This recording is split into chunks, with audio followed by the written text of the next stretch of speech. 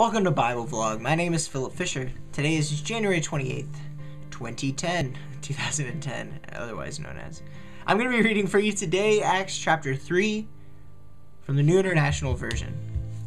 So, without further ado, let's go. One day, Peter and John were going up to the temple at the time of prayer at 3 in the afternoon. Now, a man crippled from birth was being carried to the temple gate called Beautiful where he was put every day to beg from those going into the temple courts. When he saw Peter and John about to enter, he asked them for money. Peter looked straight at him, as did John, and then Peter said, Look at us. So the man gave them his attention, expecting to get something from them. Then Peter said, Silver or gold I do not have, but what I have I give you. In the name of Jesus Christ of Nazareth, walk. Taking him by the right hand, he helped him up, and instantly the man's feet and ankles became strong. He jumped to his feet and began to walk. Then he went with them into the temple courts, walking and jumping and praising God.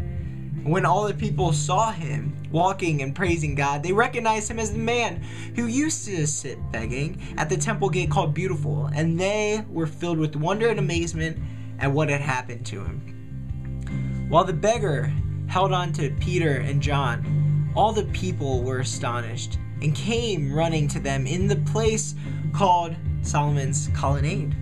When Peter saw this, he said to them, Men of Israel, why does this surprise you? Why do you stare at us as if by our own power, our godliness, we had made this man walk? The God of Abraham, Isaac, and Jacob, the God of our fathers, has glorified his servant Jesus you handed him over to be killed, and you disowned him before Pilate, though he had decided to let, go, let him go. You disowned the holy and righteous one and asked that a murderer be released to you. You killed the author of life, but God raised him from the dead. You are witnesses of this. By faith in the name of Jesus, this man whom you see and know was made strong. It is Jesus' name and the faith that comes through him that he that has given this complete healing to him, as you all can see.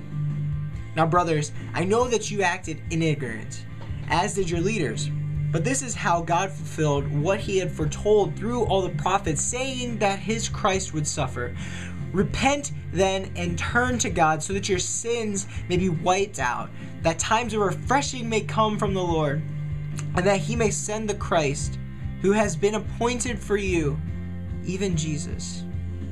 He must remain in heaven until the time comes for God to restore everything, as he promised long ago through his holy prophets.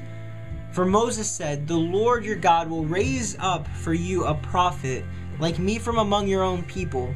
You must listen to everything he tells you. Anyone who listens, anyone who does not listen to him will be completely cut off from among his people. Indeed, all the prophets from Samuel on, as many as have spoken, have foretold these days. And you are heirs of the prophet and the covenant of God. In the covenant and of the covenant God made for your fathers, he said to Abraham, Through your offspring, all peoples on this earth will be blessed. When God raised up his servant, he sent him to first to you to bless you by turning each of you from your wicked ways